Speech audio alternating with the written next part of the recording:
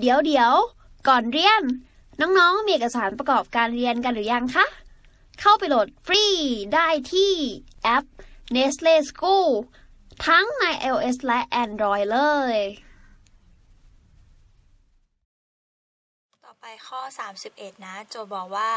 ผลคูณของ 3 ส่วน 4 คูณกับ18ส่วน 9 คูณเศษ 15 ส่วน 16 คูณไปเรื่อยๆ จนถึง 9,999 ส่วน 10,000 ตรงกับข้อใดโอเค เราจะสังเกตเห็นว่า ตัวพจน์ด้านล่างเนี่ย มันจะเป็นกำลังสองถูกไหมอันนี้ก็เกิดจาก 2กำลังสอง9ก็คือ 3กำลังสอง16 คือ 4กำลังสองและตัวสุดท้าย 10,000 ก็คือ 100กำลังสองเราจะสังเกตเห็นว่าตัวตัวส่วนเนี่ยจะเป็นกำลังสองทั้งหมดเลย ส่วนตัวเศษเนี่ยก็จะ น้อยกว่าตัวส่วนอยู่หนึ่งถูกไหมก็คือ4ไอ้สามน้อยกว่า4อยู่1 8น้อยกว่า9อยู่1ดังนั้นเราก็จะได้ว่า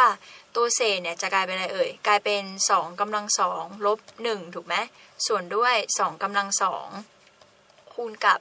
3กำลังสองลบ1ส่วน3กำลังสองคูณกับ4กำลังสองลบ1ส่วน4กำลังสองคูณไปเรื่อยๆ จนถึง 100กำลังสองลบ1ส่วน 100กำลังสองถูกปะดังนั้นเราก็จะได้เป็นแบบนี้ หลังจากนั้นเราจะสังเกตเห็นว่าตัวด้านบนเนี่ย มันจะกลายเป็น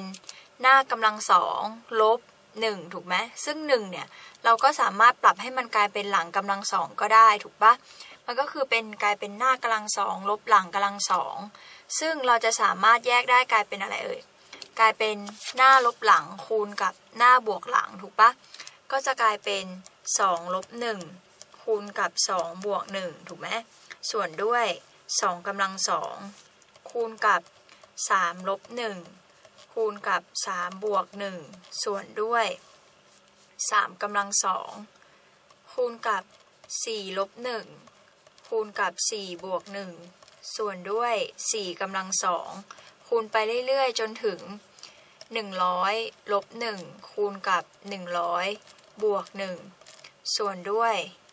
100กำลังสองก็จะกลายเป็นอะไรเอ่ย ก็จะได้ว่า กลายเป็น เราลองแทนค่าดูนะ ก็จะกลายเป็น 1 คูณกับ 3 ส่วนด้วย 2กำลังสองถูกไหมแล้วก็คูณกับ 2 คูณกับคูณกับ 4 ส่วนด้วย 3กำลังสอง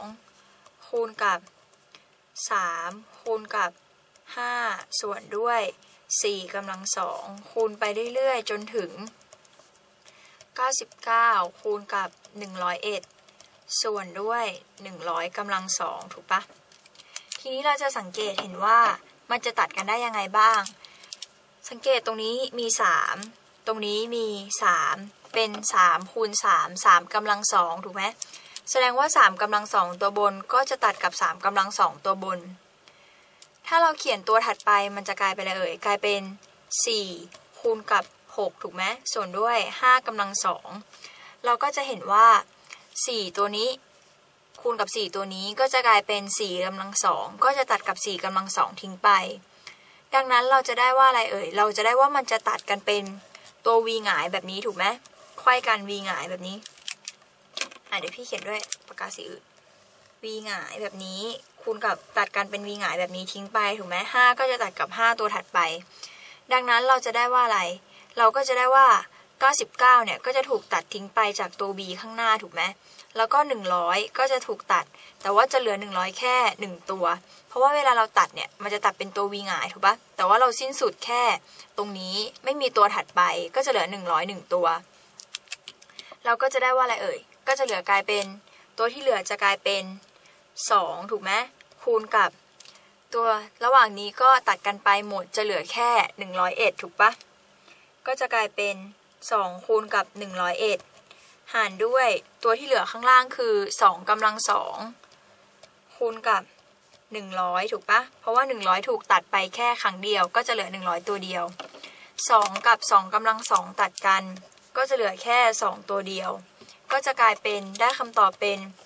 101 ส่วน 2 คูณกับ 100 ก็จะเท่ากับ 101 ส่วน 200 นั่นเอง เพราะฉะนั้นคำตอบในข้อนี้ก็คือ 101 ส่วน 200 ค่ะ ก็จะตรงกับช้อยข้อไหนเอ่ย 101ส่วน 200 ก็จะตรงกับช้อยข้อ 2 อีกทีหนึ่งนะ พี่เนี่ยเริ่มจากการสังเกตว่าตัวด้านล่างเนี่ยมันเป็นตัวที่เป็นกำลังสองหมดเลย ส่วนตัวด้านบนเนี่ยก็จะเป็นต่างกับตัวด้านล่างอยู่หนึ่งดังนั้นก็เลยจัดได้กลายเป็นข้างล่างก็จัดเป็นรูปของกำลังสองแล้วก็ด้านบนก็เป็นของกำลังสองลบออกไปหนึ่งเพราะว่ามันต่างกันอยู่หนึ่งถูกไหม เราก็จะกลายเป็นสองกำลังสองลบหนึ่งส่วนสองกำลังสองคูณกับสามกำลังสองลบหนึ่งส่วนสามกำลังสองคูณไปเรื่อยๆ จนถึงหนึ่งร้อยกำลังสองลบหนึ่งส่วนด้วยหนึ่งร้อยกำลังสองเราก็กระจายเป็น2ลบ1คูณกับ2บวก1 3ลบ1คูณกับ3บวก1แบบนี้ หลังจากนั้นเราก็จะตัดเลข เราจะได้ว่ามันเนี่ยจะตัดเลขกันกลายเป็นตัววีหงายไขว้กันแบบนี้ เราก็จะได้ว่า ตัวที่ตัดเหลือตัวสุดท้ายเนี่ยก็คือเอ่อ99 ก็จะถูกตัดทิ้งไป แล้ว 100กำลังสองด้านล่างเนี่ยก็จะตัดออกไป 1 ตัวก็จะเหลือแค่ 100 1 ตัวตัวเดียว ดังนั้นเราก็ดูตัวที่เหลือก็จะเหลือกลายเป็น 2 คูณกับ 101 ส่วนด้วย 2กำลัง2คูณกับ 100 ตัดเลขก็จะได้คำตอบกลายเป็น 100 101ส่วน 200 นั่นเอง ซึ่ง101ส่วน 200 ก็จะตรงกับช้อยข้อ 2 เพราะฉะนั้นคำตอบในข้อนี้ก็คือข้อ 2 ค่ะ101ส่วน 200 เรียนจบแล้ว อย่าลืมเข้าไปฝึกทำข้อสอบแบบจับเวลา ในแอป Nestle School กันด้วยนะจ๊ะ ถ้าน้องๆ มีคำถามสงสัย ไม่เข้าใจตรงไหน ถามว่าในแอปได้เลย แล้วพี่ๆ จะรีบเข้าไปตอบให้นะคะ กินอะไรดีอะน่ากินทั้งสองอันเลย